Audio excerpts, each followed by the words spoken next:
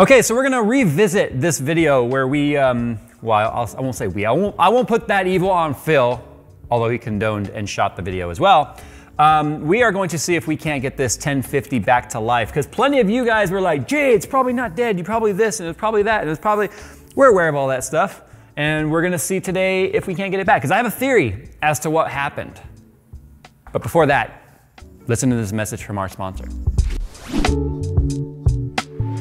Today's video is sponsored by Drop and the Sennheiser PC37X professional grade gaming headset. Sennheiser is known for their legendary sound quality and gaming headsets are known for their legendary suck quality, but now you can have the best of both worlds without compromising mic quality, making it the perfect choice for gamers and professionals alike. The detachable 10 foot cable and 3.5mm plugs ensure maximum compatibility while running your own amplifiers without taking up an additional USB slot. To learn more about the Sennheiser PC37X from Drop, click the link in the description below. If you're not aware that I should mute my watch, if you haven't watched the first part of this video that we released on Halloween, uh, you should go and watch that first. You understand what happened and, well, okay, we doused it with water and Windex just to see how much it could take. Surprise! It took a lot of water to make this thing no longer boot. So if you want to see how we reached the point of where we are today, then go and check that video out. But what we're going to show you right now is that the system will output VGA. Right here. See, we just got a blue light. We're gonna go to the BIOS here in a sec. This monitor takes a minute to turn on. See, we've got video. So we know that this is outputting something, but the problem is, every time we clean the driver off and we suit, suit into boot mode, we boot into safe mode, we can DDU the driver, but the problem is as soon as we start to reinstall the driver, then the GPU goes corrupt, we get black screen, the fans go to 100%. So my theory here is not that we killed the graphics card. Because we showed in that video too, I know I keep telling you we did in that video, you should go watch it, honestly. But what we showed in that video is how we corrupted the driver. But getting it back by doing the driver wipe uh, with DDU in, in safe mode was no longer working. But my next theory here is that we corrupted the BIOS. Because seeing the screen go black and the fans go to 100% is very indicative too of a BIOS failure. So I think that is happening when we go to write to the or write the driver is it's communicating with the card and the BIOS is just borking. So that's my theory. The other thing I'm gonna do too, just to rule out BIOS in any way, because someone did point out like, Jay, you realize you were dousing the motherboard too, right? Because like that spray was going everywhere, all over the motherboard as well. Um, the motherboard held up, I think, pretty well. So I'm gonna save this particular profile. And then what we're gonna do here is um, test bench OC, okay, good.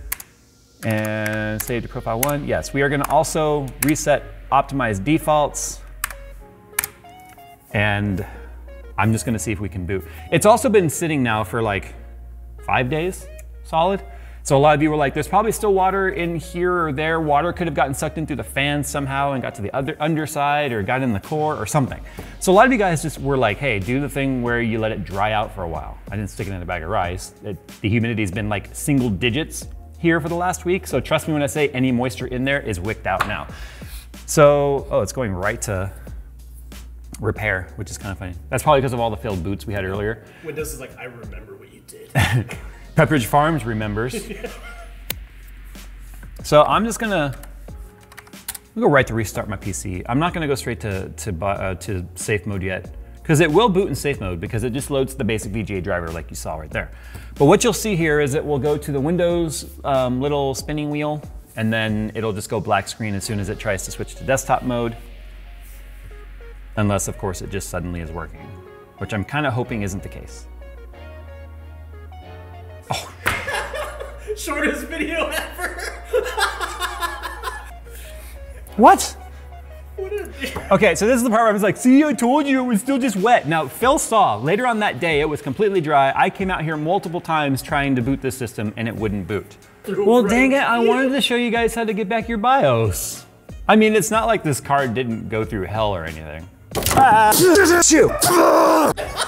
Jay is stupid and did stupid stuff. That's what happened here, but that's okay. I do the stupid stuff so you don't have to. At least that's the story I'm sticking to. So should I put the riser back on and the display port? All right, riser card and display port. Because all that water was also going on the riser card. Oh.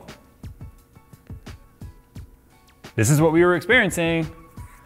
So it's one of those two things. If for some reason I take the riser card off and it's still doing it, then we try a different cable. If that doesn't work, then we can try the BIOS flash. Because the BIOS flash just sort of resets everything. And there's nothing wrong with that. I mean, let's say this is your card, and this is what you're experiencing. You got nothing to lose, right? To, by trying.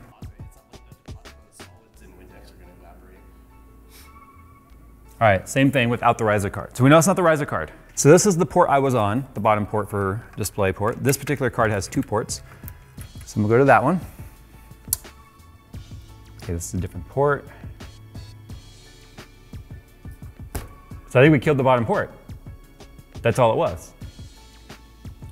Through all the comments that I read, I don't recall anyone pointing out like we probably killed a port. A lot of people were just telling me let it dry out, which is kind of the obvious thing.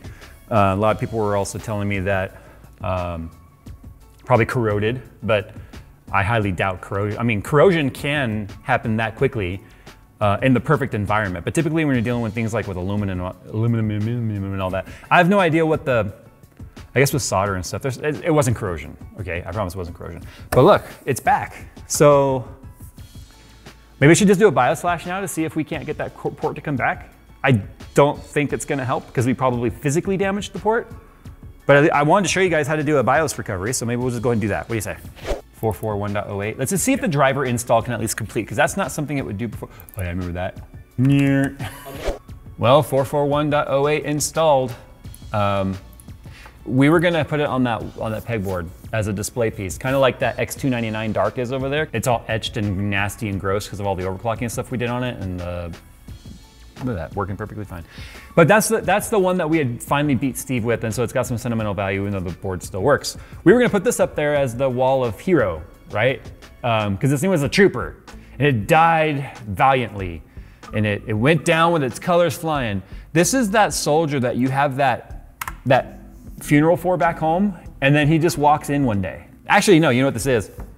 It was presumed dead. And so the squad had no choice but to leave because I know no man left behind or whatever, but he's presumed dead because he was in a, a batch of trees and then the trees exploded and you're like, no, Billy, like, we gotta go. And then you leave Billy behind and Billy's like, guys, I'm right here. That's what happened, bro. It wasn't actually that broken. Anyway, what we need to do right now is we need to go ahead and download um, NV Flash and all that stuff. And then I'll show you guys where to go to get the BIOS and all that. As much as I even hate showing their logo on my channel because of that stupid news article they posted a couple weeks ago, TechPowerUp has a video BIOS collection, and these are submitted by users and stuff. Users like you and me. And so anyway, what I did was I downloaded um, GPU-Z so that we can verify all the information on this BIOS. Even though the BIOS version on here, which I don't know how well it shows up on screen, but Phil can annotate, 90.17.1c.00.91. Now the BIOS, BIOS version that's listed here is 90.17.1a.00.6a. This is from 219 2019, so this is what, nine months old. I have no idea which BIOS is newer. So what I'm gonna do right now, because I'm not sure which is newer, I'm gonna go ahead and save this BIOS by clicking the little box right here, save to file, BIOS reading not supported on this device, or not, so we won't be saving that BIOS. And then we're gonna have to download a utility called um, NV Flash. And basically NV Flash is just the, the, tool that you can use to force BIOS flashing. Now, I'm not doing a tutorial on how to use NV Flash. I'm just telling you the process on how to do this. And the reason why I'm not doing a tutorial on how to use NV Flash is simply because of the fact that you can very easily brick your, your graphics cards by putting the wrong BIOS on there. So for instance, when you have like a reference card, let's say the NVIDIA 2080 Ti reference, and then you've got the EVGA SC Ultra, or XC Ultra, which is based on the same reference PCB but has a custom BIOS on there with different boost clocks and stuff. You, what a lot of people will do is they'll take those higher boost clock BIOS and flash them onto their regular vanilla cards. The problem is that doesn't always work. You'll get subset mismatch, uh, you'll get all kinds of device ID mismatches, and you've got to override those to say, yes, I know it's not the same, flash it. Well, depending on like back in like the 700 series era, um, there was also different revisions to the actual die itself. So you'd have like A1, B1, stuff like that. And you could put a wrong BIOS on the wrong revision, brick your, your graphics card, and never get it to come back. Ask me how I know that. How do you know that? Funny you should ask. I actually made a video about it. Now, when we use NVLink, I don't want to have to type in msi.gtx1650.409.6.190219.rom. So I'm just going to rename it to don'tdie.com. Or dot .rom. I don't know if that's a real website. I probably wouldn't go there if I were you, just by the sounds of it. All right, so now with NVFlash downloaded and extracted into the same folder as our ROM, you can set the file structure however you want. You have NVFlash 64 and NVFlash. NVFlash is for 32-bit. No one should be running 32-bit in 2019 for any reason whatsoever. And then NVFlash 64 is for 64-bit operating systems. Now you used to be able to in Windows 10 or Windows 7 like right click and like run command prompt here, but you can't do that crap anymore. So now you need to go over to your start menu and do command or command, right click, run as administrator. If you don't have administrator privileges, this is not going to work. And then don't die.rom. Hey, I, remembered how to do a thing. Crazy, okay. Update display driver firmware. Yes to confirm any a key to abort. Yes. What you just heard it do was actually disable the driver, which I forgot to do manually, but fortunately NVFlash will do it for you now. It's now writing the EEPROM. It's now flashing the image to our latest ROM that we put on there, verifying the update. Firmware image as now just broken your system. That's actually somewhat normal. Because the thing is, it's running still off of the previous loaded BIOS until you restart.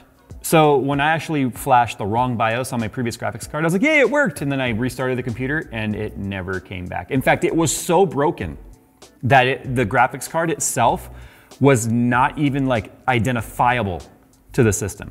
In fact, we tried everything we possibly could to get that EEPROM to rewrite, but it was so broken that even when we would identify graphics cards, it just said VGA. That was it. But it still gave you no picture whatsoever. And then what we did, we did was the old trick of like have two graphics cards in the system at the same time, boot off the good one, and then NV flash to the second card because you could tell it which card you want to flash to. We showed how to do all that when we did our Titan RTX BIOS upgrades. Um, it just was like no card present. So anyway, let's now do this. Let me shut this down. And we are going to now put our power or our, our graphics cord or display port into the bottom one. So what died obviously was the port. This graphics card is still perfectly fine.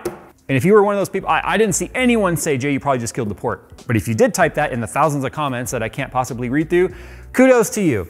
Well, it's still alive, which kind of sucks in a way because we wanted to send this thing off. Where's my blowtorch?